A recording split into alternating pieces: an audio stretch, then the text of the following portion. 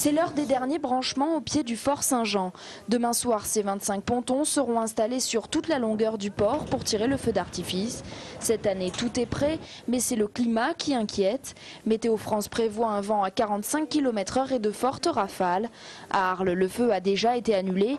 À Marseille, on reste confiant. Jusqu'à 90 km h on peut tirer le feu sans aucun risque.